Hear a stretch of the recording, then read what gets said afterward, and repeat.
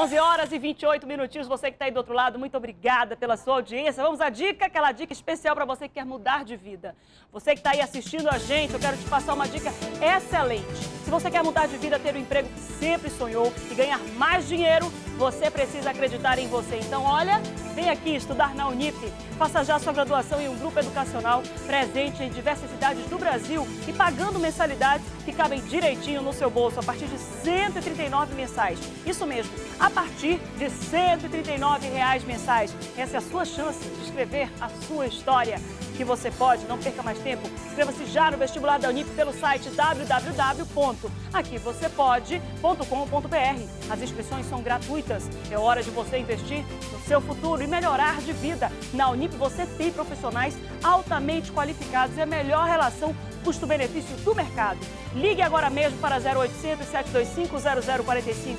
Chegou sua vez, venha para a Unip e melhore de vida, porque aqui você pode. Amaral? Olha, eu vou te falar uma coisa, Marcela Asmar, a partir de agora são 11 horas e 29 minutos.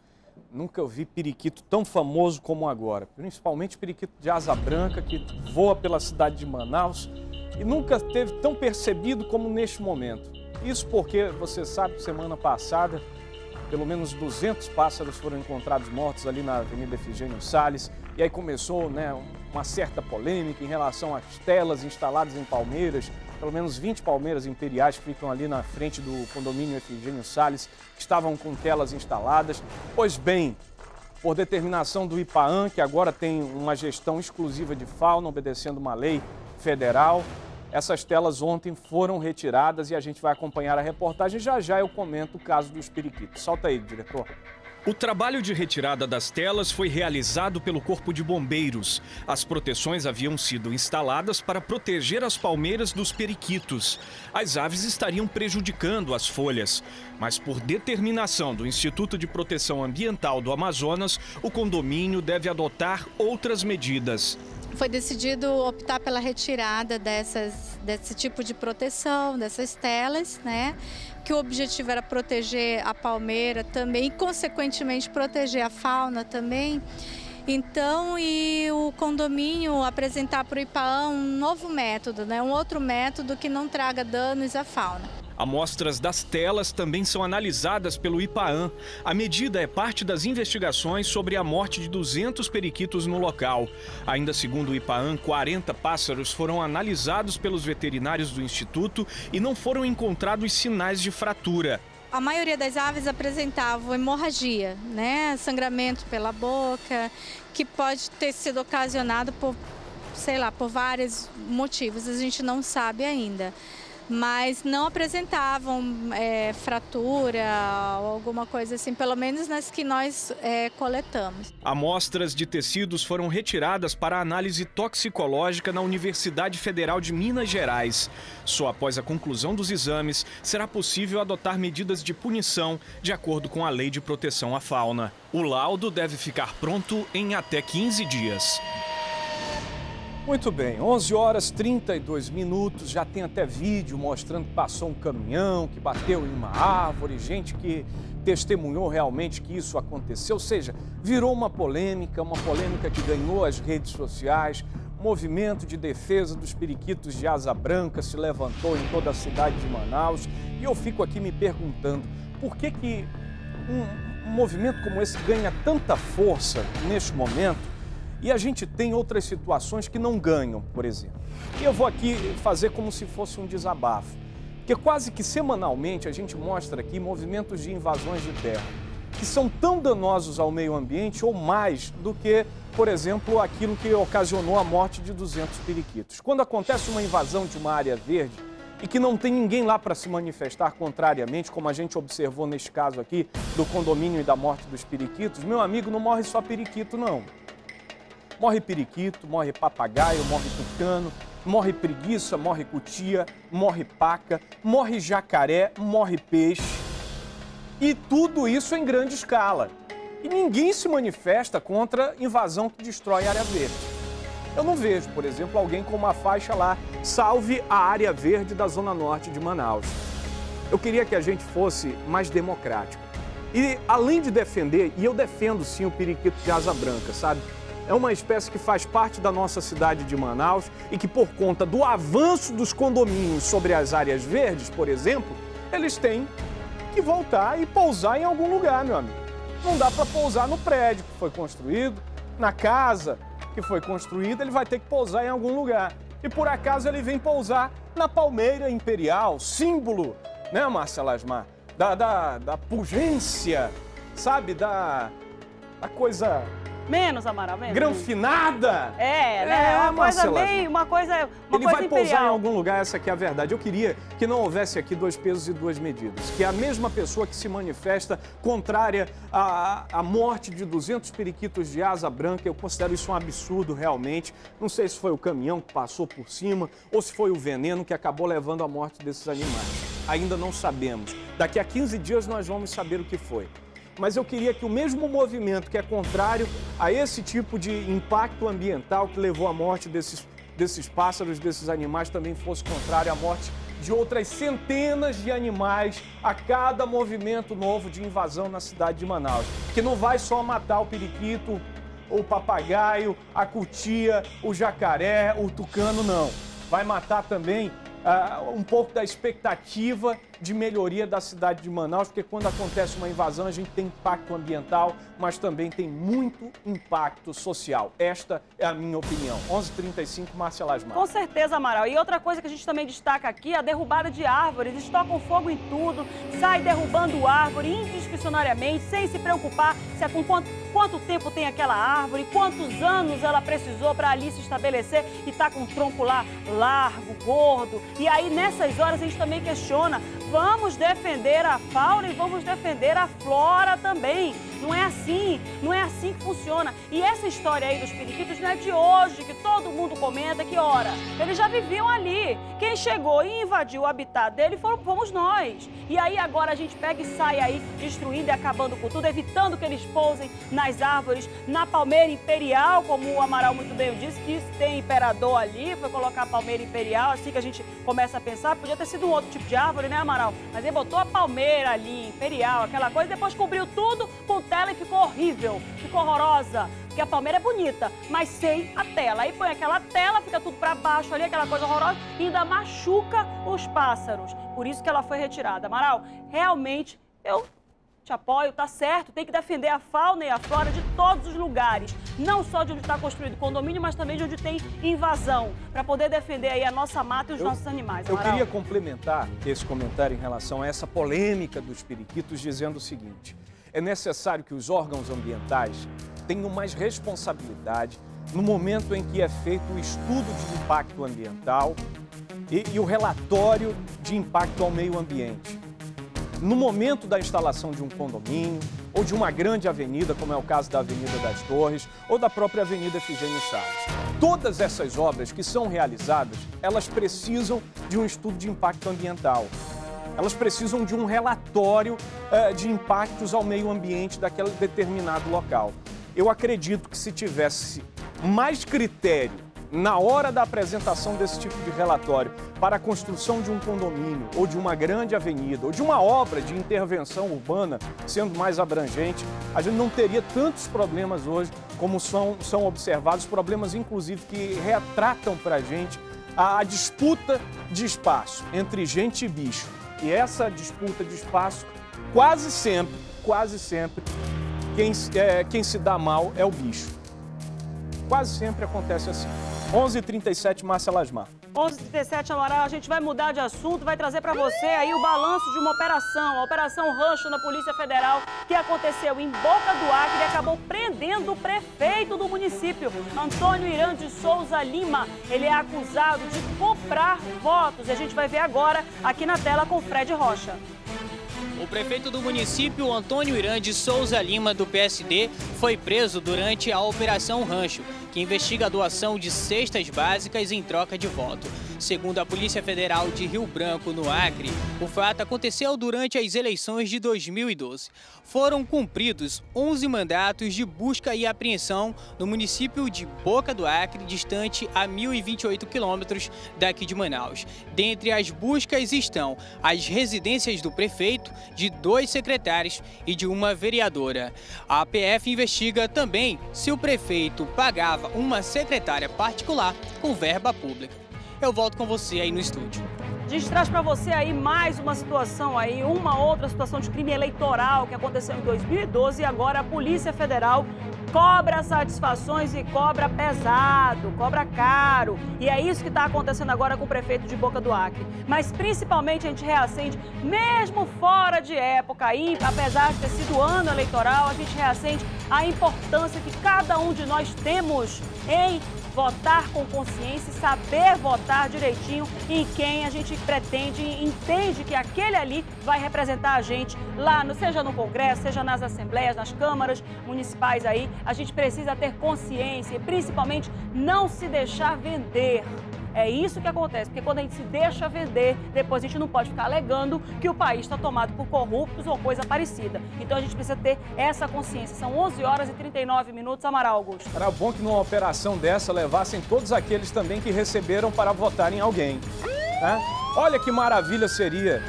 Faltaria espaço, acredito. Mas teria que ser uma mega operação.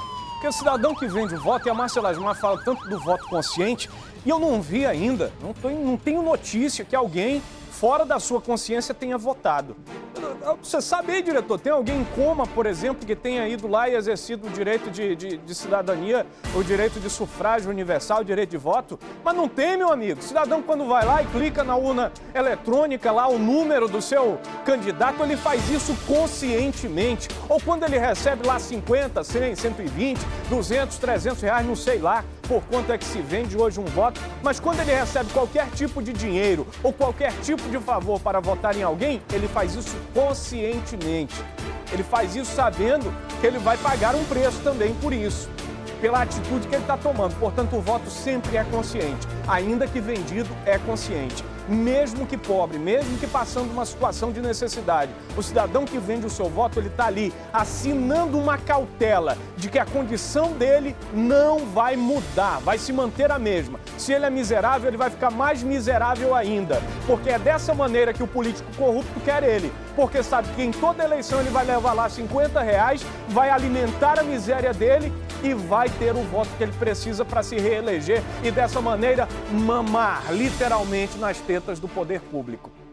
Esse tipo de político tem que ser tirado, mas tem que ser varrido da condição democrática do nosso país. E isso só vai acontecer quando eu, quando você que está aí do outro lado, nós que fazemos parte dessa democracia, não apenas ficarmos aqui de papo furado, mas tomarmos atitude. E essa atitude é facilmente tomada na urna. São 11 horas e 41 minutos. Quer ver um exemplo do, que, do quanto o nosso voto é importante? A Assembleia Legislativa do Amazonas enfrenta hoje uma dificuldade enorme para a aprovação de leis. Leis importantes. Sabe por quê? Porque tem político que não quer trabalhar, meu amigo. Mas não quer trabalhar. Quero ver, Marcela Asmar, se amanhã eu não vier aqui pro programa da comunidade. Ou se eu ligar assim e disser o seguinte assim pro, pro, pro diretor, pra diretora Marcela Rosa, olha, hoje eu não vou porque hum, eu não sei nem dar essa desculpa, ficou até complicado para mim. Mas então, Marcelo mas imagina eu chegando aqui hoje, aí eu vou aqui chegar com no ponto aqui, né, né, baixinho? Vou chegar aqui no ponto, vou bater meu ponto e vou embora. Será que, será que vai colar, o gatozinho? Não vai, não vai tem que estar tá cedo, vai ter que trabalhar, vai ter que apresentar o programa. Agora, meu amigo, não é diferente com nenhum outro tipo de trabalho. Com o jornaleiro que vende o Agora Impresso, por exemplo, é assim. Ele sabe que se ele não for lá vender o jornal dele, ele não vai receber. Né? Assim como o Amaral sabe que se não vier trabalhar, também não vai receber. Só que na Assembleia Legislativa o negócio é diferente. O caboclo vai lá, bate o ponto, às vezes vai embora, às vezes some. Eu acho que tem um problema lá no ponto. Sabe o que é, diretor? Ele encosta o dedo aqui, ele evapora, some. Eu acho. Quer ver? É só fazer assim, vamos fazer um corte de câmera, aproveitar que a Márcia não tá ali na outra tela. É assim, ó, vou bater meu ponto, vou sumir. Não, fica lá mesmo, fica lá mesmo, gato Júnior. Vou sumir, quer ver? Ó, vou bater o ponto aqui, ó. Eu acho que é isso que acontece. Só pode ser. Só pode ser. Ah, não foram reeleitos? Vamos entender. Vamos entender como é que isso está acontecendo na reportagem do José Carlos Amorim aqui na tela do Agora. Solta aí, diretor.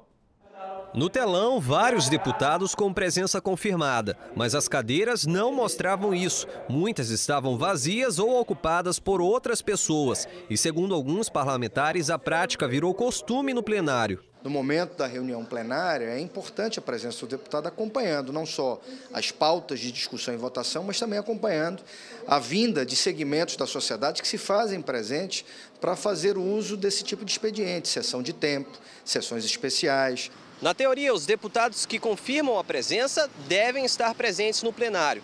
Mas, na prática, alguns confirmam a presença e saem ou para os gabinetes ou até mesmo para fora da casa. O resultado disso é que projetos importantes, como a Lei Orçamentária de 2015, estão pendentes por falta de parlamentares na votação. A não reeleição de alguns deputados também seria o motivo para as faltas na sessão plenária. Os não eleitos estariam agora somente esperando o final do ano parlamentar para entregar o cargo. O problema é que o recesso dos deputados começa em 16 dias. A casa não pode entrar no recesso é, parlamentar enquanto não for aprovado a lei orçamentária. Então, eu creio que não teremos dificuldade, até porque esta casa tem que entrar no recesso no período normal, reduzimos aí o recesso para 30 dias, né? e os deputados têm que fazer essa discussão. E no ano que vem, a chegada dos novos deputados formará um forte bloco de oposição ao governo. Eu não vejo isso tudo.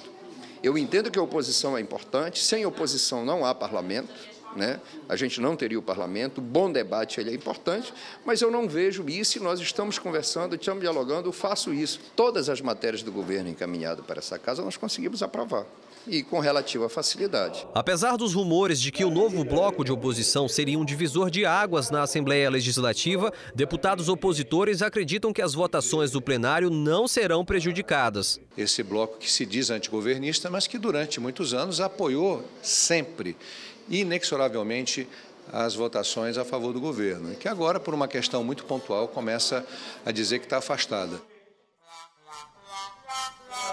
Olha, vou te contar, viu?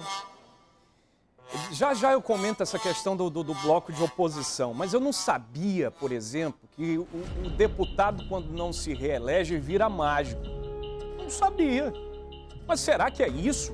Deputado não se reelege, mas tem que cumprir a sua legislatura até o final. Mágico. Manda, vira mágico. Seja bem-vindo. Bate o ponto, né? Bate o ponto aqui na maquininha e some. Vou bater o ponto aqui, ó. Sumiu. Meu Deus do céu. Olha, isso é uma falta de respeito, falta de respeito.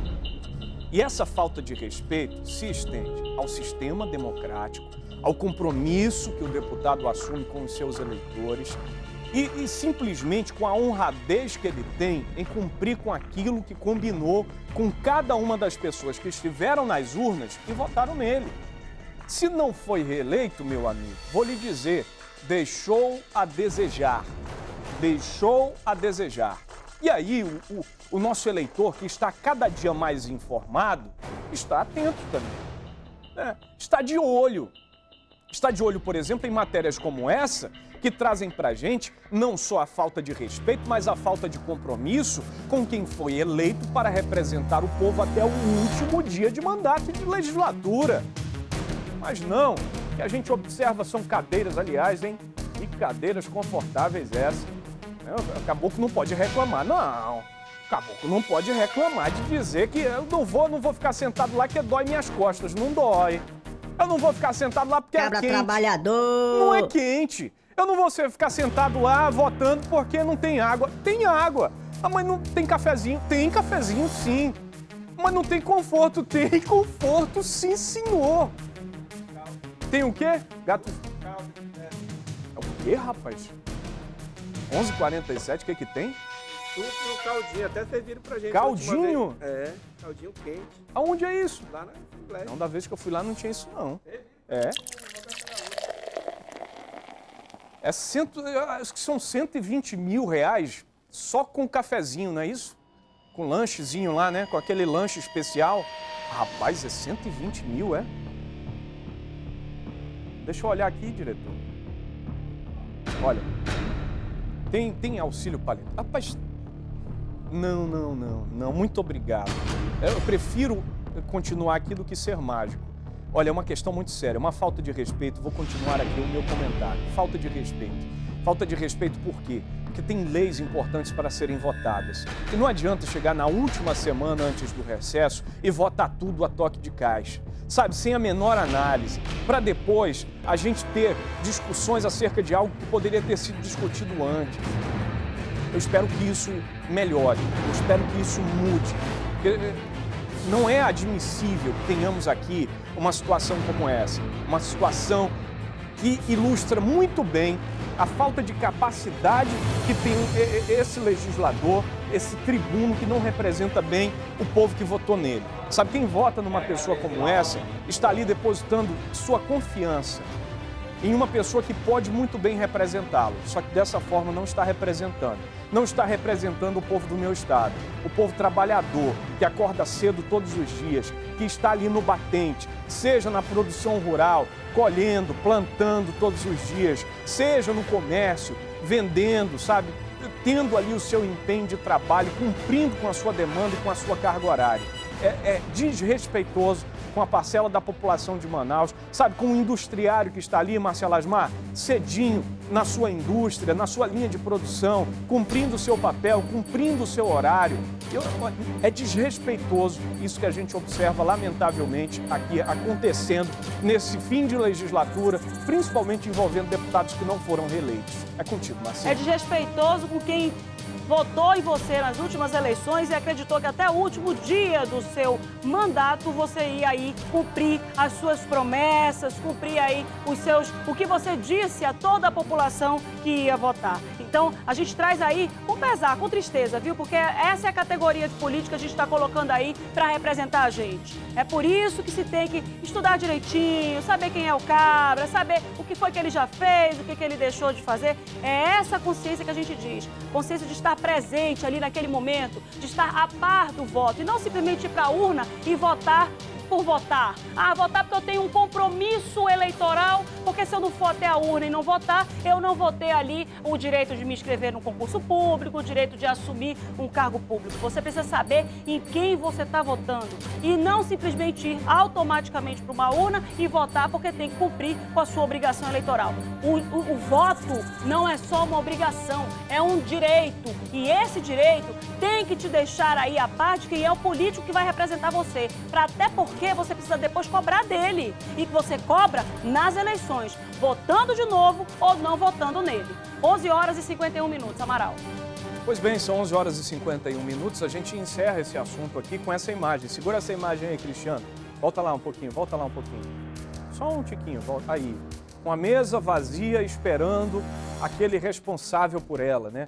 que ele possa chegar ali, registrar a sua presença, digitar ali, registrar a sua presença e ficar, permanecer. Porque é importante a participação dele ali para que tenha quórum, para que tenha um número mínimo de deputados. É só dessa maneira que as leis tão importantes, como a lei orçamentária, né, anual, como outras leis que estão tão pendentes aí que precisam ser votadas, sejam. Só vai ser votada se tiver um número mínimo de deputados. Alô, seu deputado que não foi reeleito cumpra com a sua obrigação até o fim dessa legislatura. Por favor. 11h51, Márcia Ladinho. São 11 horas e 51 e a gente vai trazer informações aí sobre o Natal. Olha só, gente, no Natal, que promete aí a maior venda aí, a maior, mais uma vez, ser uma, uma vez de lembrancinhas e tudo, os lojistas fazem de tudo para atrair os consumidores. Além daquela decoração linda que a gente está vendo aí, aquelas luzes, o tanto de brilho, as cores, verde, vermelha, também tem muito sorteio e promoções. Vamos ver aqui na tela? Imagina só começar o ano novo com um carro de luxo. Ai, que maravilha! Seria bom. Este shopping da zona centro-sul de Manaus aposta no sorteio do carro para alavancar as vendas em dezembro. É uma forma de pro, pro shopping é, agradecer, reconhecer, né, todo o trabalho dos nossos lojistas, dos nossos clientes evidentemente, de toda a comunidade que aqui frequenta. Além das decorações de Natal espalhadas pelos shoppings, os sorteios atraem a clientela. Os lojistas esperam um acréscimo de 30% nas vendas com as promoções e os sorteios de fim de ano. Então é a hora da gente aproveitar a promoção e dar aquele atendimento além do que o nosso cliente espera e, na verdade, ele merece. Né? É a hora da gente aproveitar e procurar vender bastante, que o momento é positivo para todo mundo. Para Luciano, poder contar com a sorte pode ser uma boa. Uma benção ter um carro desse novo, de primeira, logo. Seria uma, né? Entrar no, no ano com um carro novo, né? Oh, se seria bom, hein? É começar 2015 Eu aí quero. com o pé direito, né, Amaral? Ou se não quer. E quem tem carro, se ganhar um outro desse, aí vende e paga as contas, né, Amaral? Olha, meu amigo Gato Júnior tá afim de um carango novo, viu? Rapaz, hein? Já pensou, Gato Júnior? Ajudaria, não ajudaria? Tá velhinho já, tem que trocar. Tá velho nada, rapaz. Só falta manutenção, camarada. Eu vou mandar pintar. né? Já, já taparam aquele buraco lá na frente da tua casa? Já. Já resolveram lá Já. o problema? Não precisa mais fazer a denúncia. Não, precisa não. Rapaz, tu passou o quê? Duas semanas aberto lá, foi? Um mês. Um mês? É, eu acho que era o assalto ao Banco Central, eles queriam fazer. Tu já tava com medo de fazer um, tú- um túnel lá pro... pro- Eu, eu acho. Mas era grande mesmo o buraco? Era. E fundo. Caiu um carro lá. Rapaz, olha só. Isso é lá no Lírio do Vale 1, né? Dois. Dois, Lírio do Vale 2. Qual é o, o número da rua? Rua 20. E o pedreiro já concluiu a obra lá? Tudo no porcelanato já. Já tá bonito. Tá. Polidinho. É mesmo? Não, não, não posso. O que, que é, Márcia? Como é, meu filho? Porcelanato. Isso é, bo- isso é boçal, meu irmão. Isso é um boçal. Eu vou voltar ali pro meu canto que eu tô organizando umas coisas ali pra dar um recado, viu? Agora tu é um boçal. E Cris, prepara aí, Cris. Prepara aí a dica, Cris. Porque a Márcia Lasmar. Já, Gato Júnior? Colocou aí, enquadrou? Tá no jeito? então, Márcia Lasmar é contigo. Para o que você está fazendo aí em casa e preste atenção na pergunta que eu vou te fazer. Como é que você quer estar daqui a 10 ou 20 anos? Tenho certeza que bonita e jovem, não é mesmo? Então comece agora a tomar Imecap Rejuvenescedor.